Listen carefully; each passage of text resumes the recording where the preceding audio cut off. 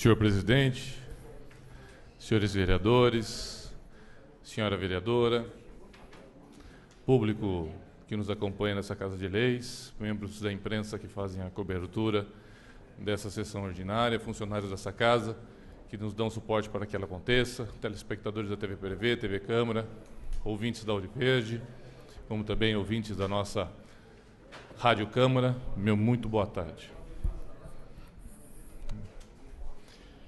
Vereador Sandro Brussola.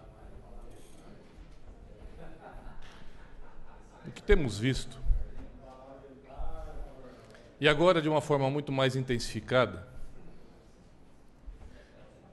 é uma prefeitura que está perdendo totalmente as rédeas e o comando dessa cidade.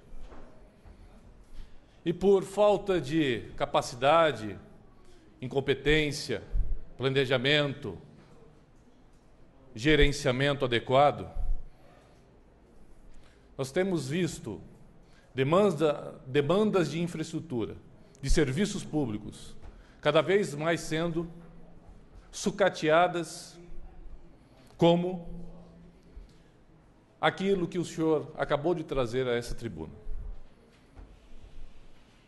A nações a Nuno de Assis, aliás, que está recebendo um serviço de infraestrutura, que são os interceptores.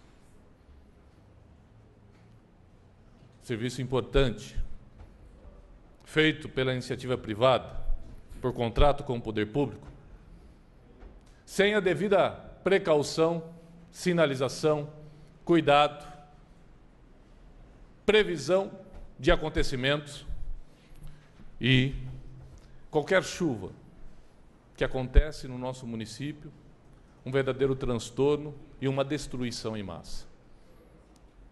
Nós sabemos que as chuvas são fortes, nós sabemos que os ventos também são fortes.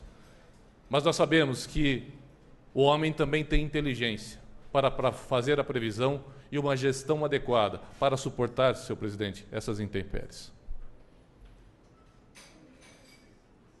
Mas um ponto a ser trazido é o poder público agindo de forma clandestina nas suas atividades.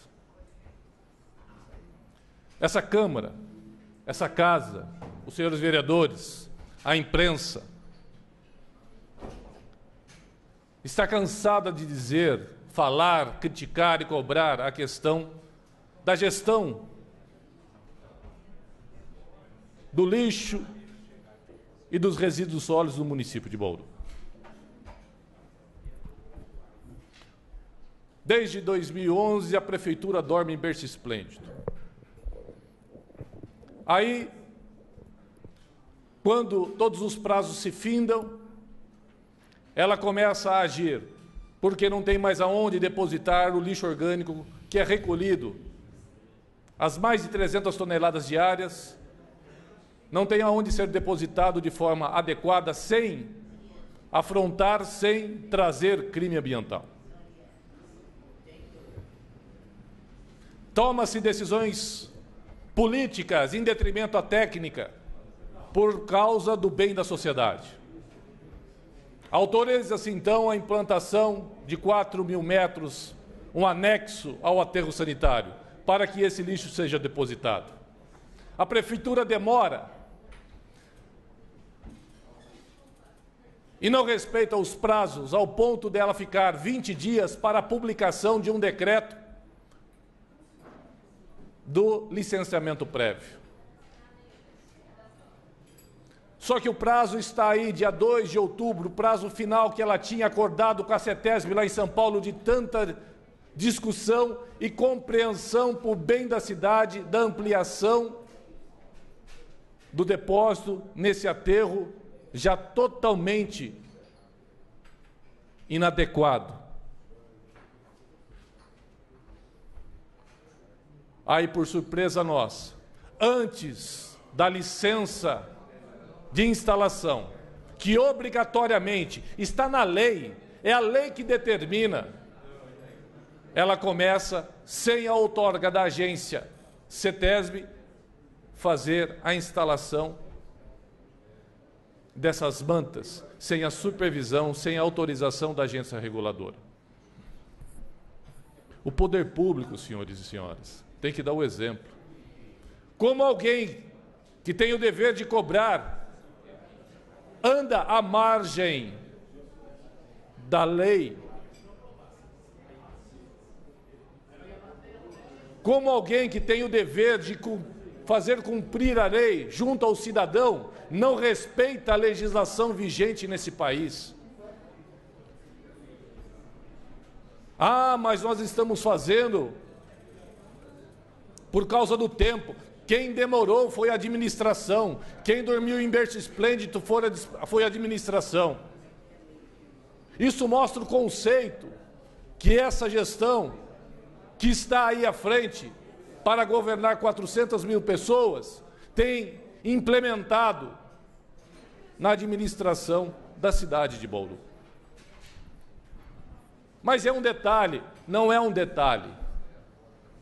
Isso é um conceito, é uma realidade de como, de forma descuidada, desidiosa, despreocupada, irresponsável, esse governo tem tocado a cidade de Bauru. Tem administrado o município sem o devido respeito, sem a devida cautela, sem cumprir a lei.